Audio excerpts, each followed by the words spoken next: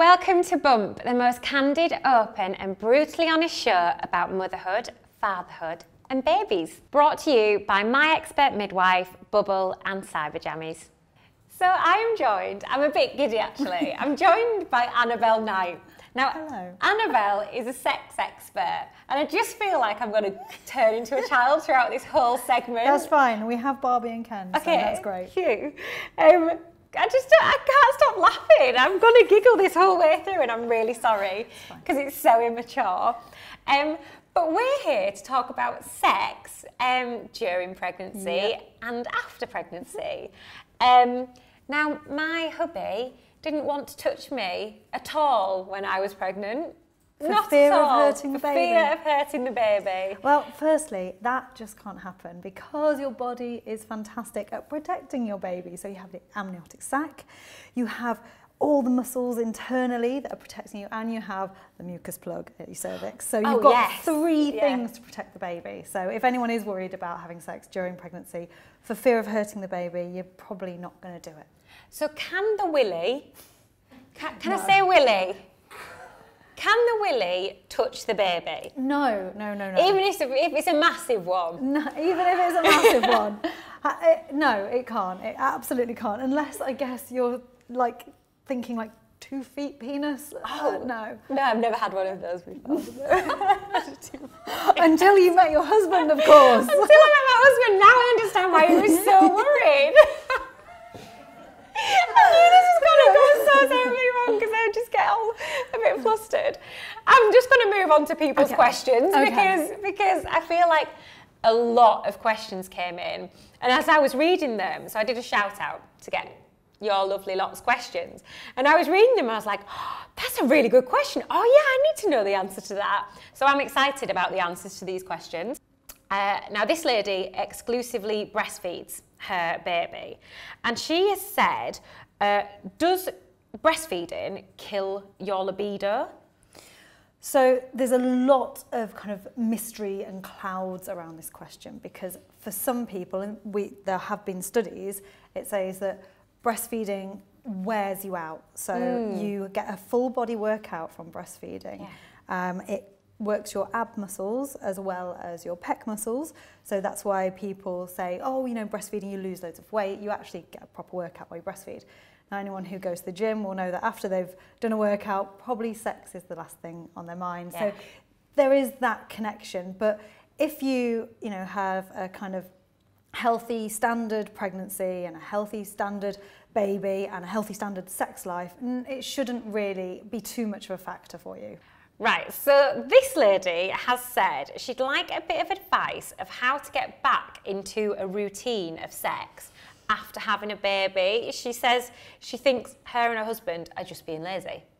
Well, Which- that is fair enough. If you, that's what you think, that's what you are. I always say that. I'm not saying they are, but if you personally think I'm being lazy, then in your scenario, you are. So it's really important to plan. I know this sounds so unsexy about planning sex, but I talk about it all the time because it is a really good way. It's something to look forward to, and it's a good way of getting, you know, one or two sessions in.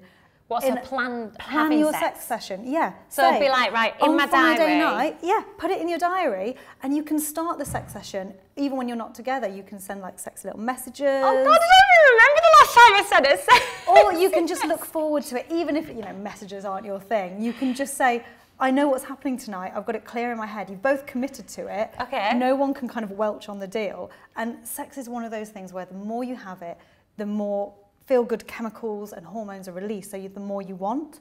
So you just have to kind of almost force yourself to get back into the swing Right, things. okay. Right, this one's a really interesting one, and I don't know the answer to this question, hence why you're here. Can your G spot move after a child after childbirth? I don't even know where it is. I mean, it can just fall right out with the baby. No, it can't. it can't. Your G spot doesn't move at all. Doesn't. It is roughly in the same place for everyone, but it Which can is where? move. So let's take Barbie. okay. So where your belly button is and where your mons pubis is, it's roughly in the middle on this front wall. So the best way to access it is to use a come hither motion with your fingers if your partner is facing you. Or if you can't bear that and you want to look practice first to get to know your own body, invest in a G-spot toy because the toys are curved, so they do all the kind of hard work for you, and you'll know when you hit it because it feels a little bit at first like you need a wee because it rests Oh, against your bladder. does it? Right. So a lot of people just go, oh, I need a wee, and then kind of move on. Nope, you've hit the right spot there. And if you keep going at that spot, then that's going to do something rather than just making Yes, you feel. so behind your G spot is a little gland called the Skene's gland, and that is very, very pleasurable. Um, all that area is packed very densely with nerve endings, and that's why it's so uh, feels so good when you stimulate that area. So this is why I always talk about dual stimulation all the time because men have it or your partner has it pretty tough because they can't penetrate you and stimulate you externally at the same time because our main pleasure point is on the outside it's not on the in. Yeah. so just through penetrative sex it's really difficult for women to have an orgasm.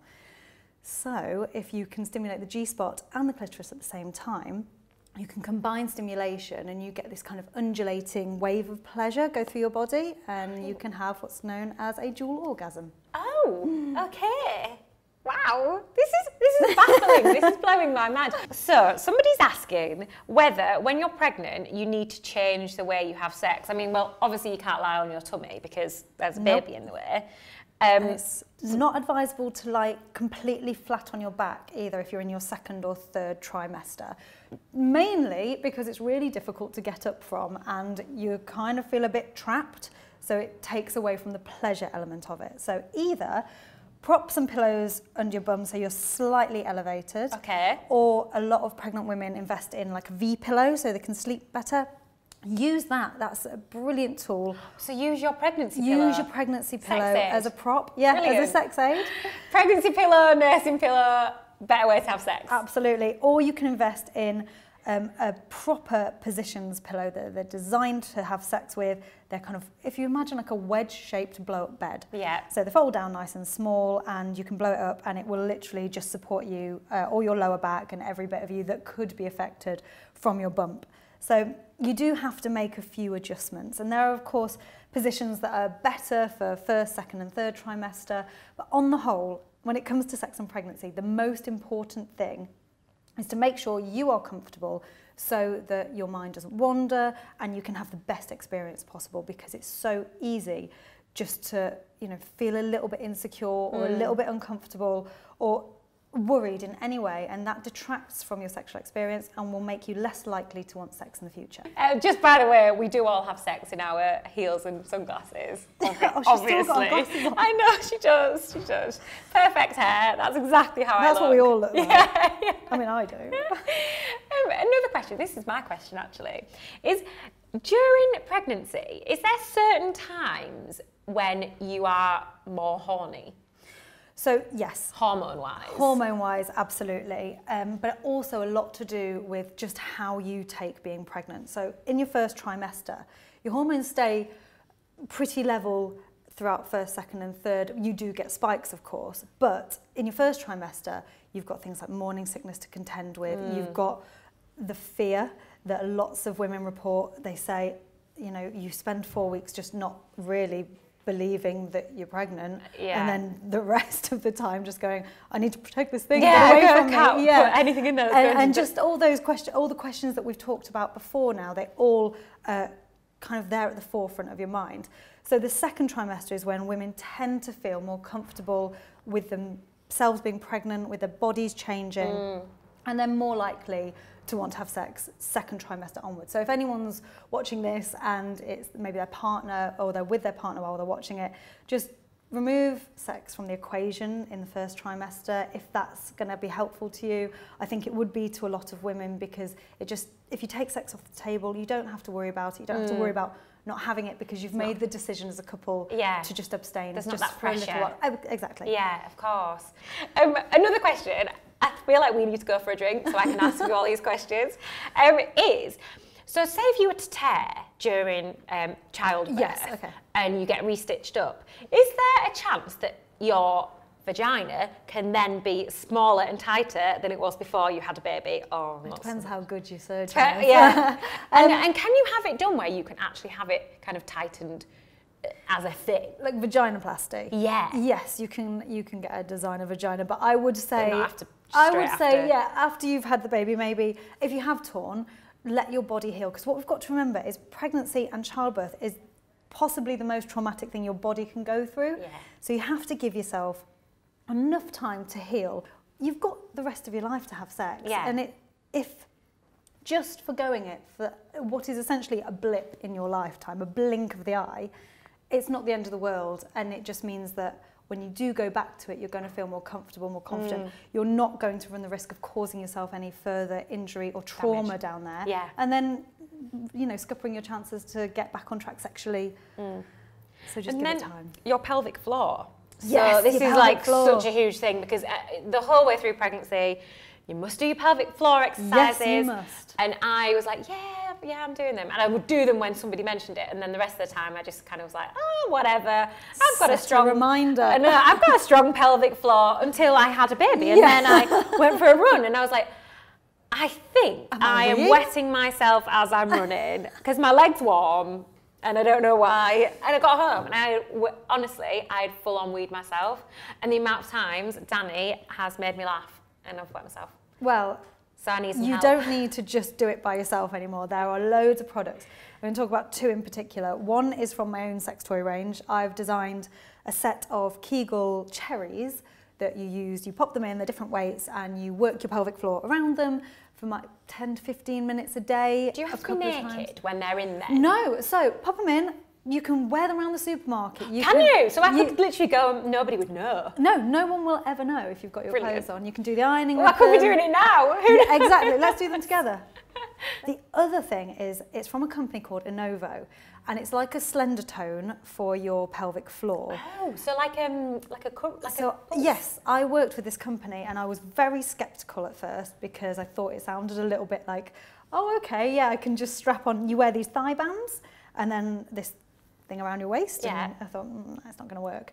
Until I looked at the studies and the research, and if you do a course of it, 94% of people say that their pelvic floor is stronger than it was before. So does nothing go inside? Nothing goes inside it's you literally. It's literally just working. It's the oddest sensation, I will admit that. But you, you know, there is a difference, and Wow. it's a huge percentage of people. Um, it's not the cheapest thing in the world, Right. but if you are really struggling, um, it's kind worth of a foolproof way. Yeah, absolutely. So when when you've had a baby, Yes. I know a lot of people I've spoken to have the same feeling of uh, like get off me. Don't I don't I don't want to have sex. Don't come near me. Um, and it's quite, it's quite strange because so many people have that feeling. Is there a, a reason? Yeah, there really is, and it ca- kind of harks back to the caveman days where you know we didn't have contraception. And the idea is, and you'll find this across the board, no matter what the species. If someone has a baby, or if something has a baby, they don't want to get pregnant again because that will s- uh, prevent them from being able to look after their That young baby. that's already been born. So they naturally avoid sex to avoid um, having a, a, another baby too soon. And that is what we find across the board with all species. So it doesn't matter whether you're like a cat, dog, human, or tiger, you will avoid naturally kind of an, an evolutionary switch will go off inside you where your sole focus is to protect that baby and not to have another one because that will prevent you from being able to protect the exis- existing one. That's amazing. So we're all very we're all very cave woman Yeah. once we've had babies. Yeah, we turn into cave women. Um, well, thank you. No, thank you. that was amazing and very very interesting. I hope that's helped some of you a lot with all those questions. I've definitely learned a lot there. Um, thanks. Thank you for having me. Thanks so much for watching Bump. If you want to watch the playlist, then click here. And if you want to watch last week's episode, then click here.